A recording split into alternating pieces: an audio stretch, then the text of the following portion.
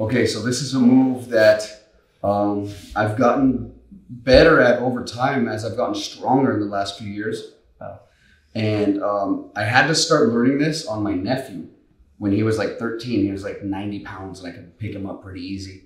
And over time, I've picked, I've developed like I've strengthened the muscles that it takes to do this, and I can do it to somebody Majid size. Like the other day, I did it to somebody who was over 200 pounds. I was able to pick him up. So the idea is is get side mount, lift the person up, whether I have the underhook or mm-hmm. not, whether I have the underhook or he has the underhook.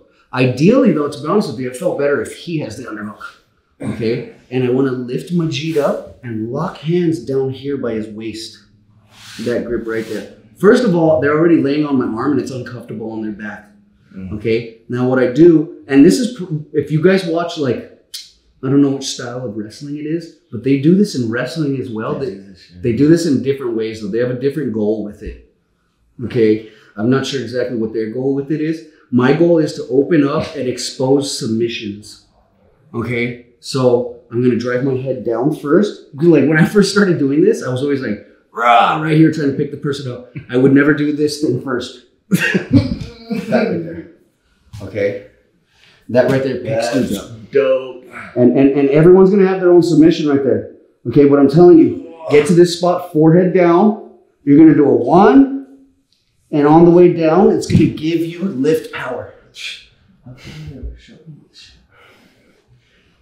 Hmm, I don't know. So let's see what kind of submission can I make up right here. There's there's a you see what he's done with his left forearm? Posting and, and framing on the ground always opens up submissions. So let me try it again. Oftentimes what happens with this is when I load the person up like this, they try to like go to turtle position. Yeah. And I can be like, yo, seven year old right off that. You see that? Let's do this again. My real favorite thing to do, I don't know, Majid's probably gonna laugh his balls off when I try to do this to him right now. But if I load them up, wow, okay, and I can go. Ow. Okay, I can I can get him up onto my left leg here. Do you see what's going on here? Right now, watch, watch. I'll support his whole body weight on my leg here. You see this?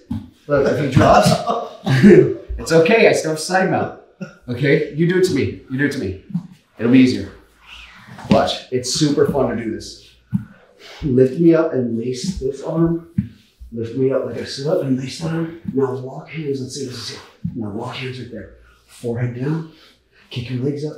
Load me up. Now set me. Step your left foot up on the ground.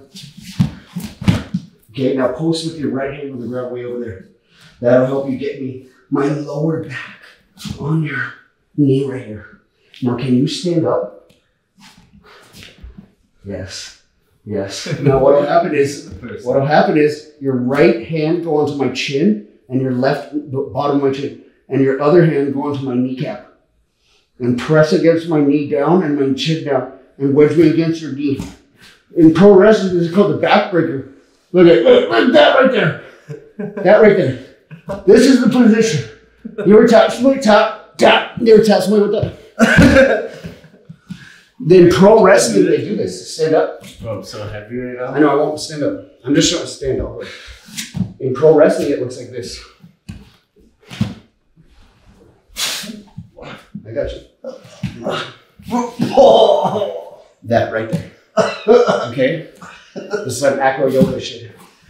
But you saw what was happening to him. Okay, you'll see pro wrestling matches. I'm sorry. It's okay. I wish I could. I know, but I'm just saying you You can to range people like that. Maybe try again. Yeah. You need That's what I'm saying though. Like, it to you? like, yeah. Majid hasn't done this before. I had to. They're watching you. I can do this shit. It's a cool photo. I had to learn how to do this on my little nephew. You know, because he's so light. Eventually, now I can do it to heavier people. Picks it up. Post over there on your hand, because then you can. Boom. Now if they stay like this, press the knee and press the chin. Like put your hand like right there. Yeah, tap, tap. Sorry. Boom. Look at it. Right to the cross foot lock. Look at that. That's another example. Let me try that real quick. Let me try that. Backbreaker to the cross foot. I won't do the backbreaker though. I'll just do the waist lift. You go. Boom. Load them on. Waist. Make space. Pick the dude up. They drop. You go to cross foot. Look at that. Look at that. Right on the inside. I'm not behind him. I'm on the inside. I'm on my knees. I'm not on my side. You see that? I'm on all fours on my forehead.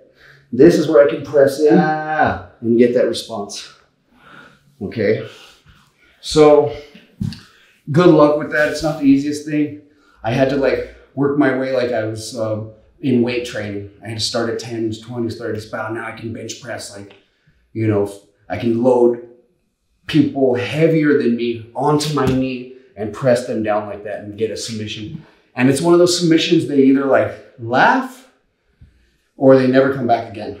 So be careful with it. Respect. Thank you. Quit, dude. They quit. Quit. Get the next UK.